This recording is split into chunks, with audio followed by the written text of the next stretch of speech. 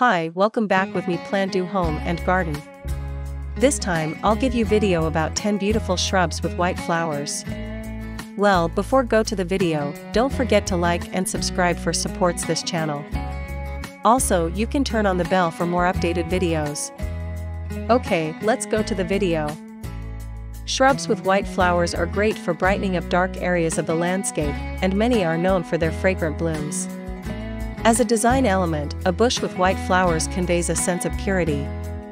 They are often used as the basis for moon gardens, which are designed to be enjoyed at night. Some white-flowered shrubs are prized primarily for the spring color they bring to the garden, while others save a bit of their beauty for fall when the fall foliage is the star of the show. Here are 10 great choices if you are considering white shrubs for your landscape. Number 1. Viburnum carlesii. Viburnum carlesii is an example of a shrub that boasts early spring flowers, April, as well as fall color. The buds are pink but then open to become clusters of white flowers. The bush is named for its fragrance, which contains a combination of sweetness and sharpness. If your soil does not have the acidity preferred by viburnums, a yearly feeding with an acid-enhanced fertilizer will improve its flowering. Mulching the base of the shrub with pine needles can also improve soil acidity. Number 2. Common lilac. For a purely sweet smell, it is hard to beat the fragrance of the common lilac bush, which is available in whites as well as in the familiar lavender slash purple. But if you are seeking plants for a hedge that will screen out prying eyes during the summer season, the height of the common lilac is a decided benefit.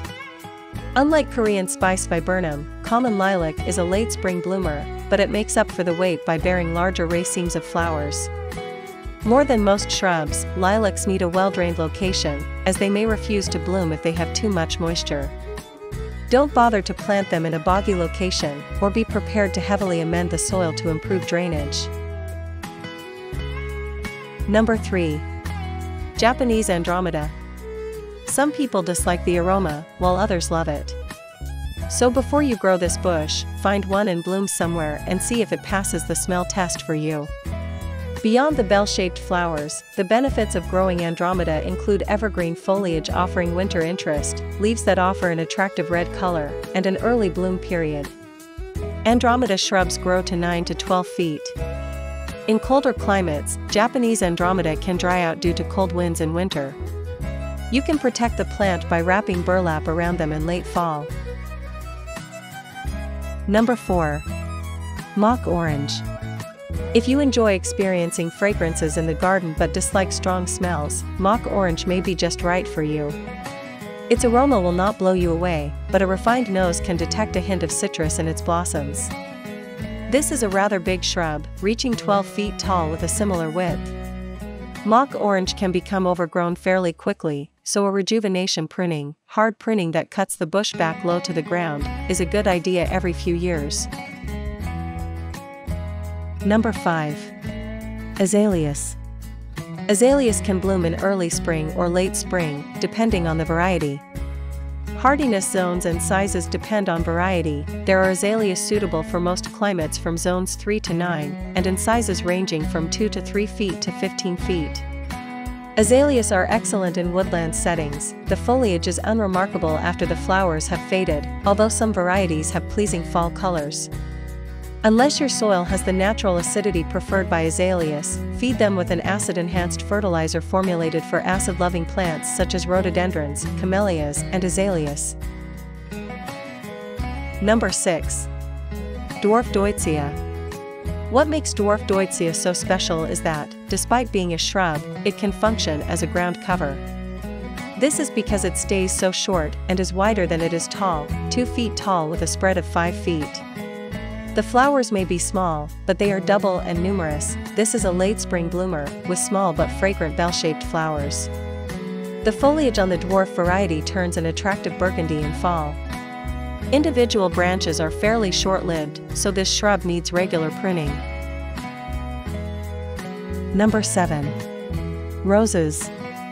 According to the meanings assigned to the various rose colors, white roses signify reverence and humility.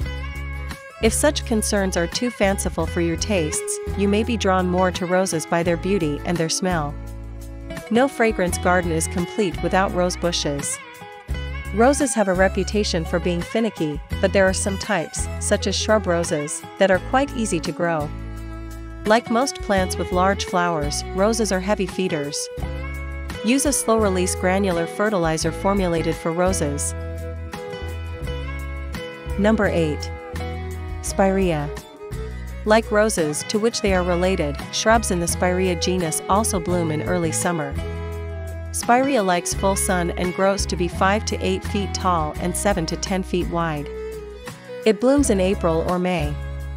Spireas has fairly good tolerance for drought conditions once mature, but while young it is important to keep the plants well watered. Mulching the soil will help keep it moist. Number 9. Hydrangea. Hydrangea is another early summer bloomer, and there are excellent white versions available in all four of the main types, smooth hydrangeas, bigleaf hydrangeas, panicle hydrangeas, and oakleaf hydrangeas. A wonderful choice for admirers of white flowers is the Incrediball hydrangea.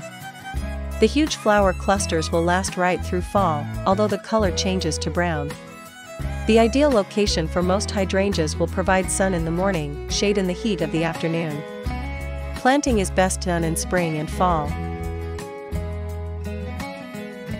Number 10. Snows of Kilimanjaro.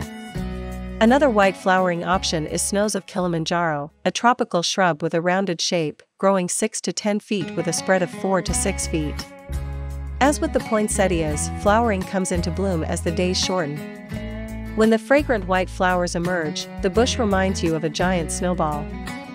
To promote that look, give the plant a severe pruning back in early spring, then another in early summer. Wear gloves when you prune because some people are allergic to its milky sap. Thanks for watching my video about 10 beautiful shrubs with white flowers. If you like this video, don't forget to like and subscribe for supports our channel. Well, see you in the next videos.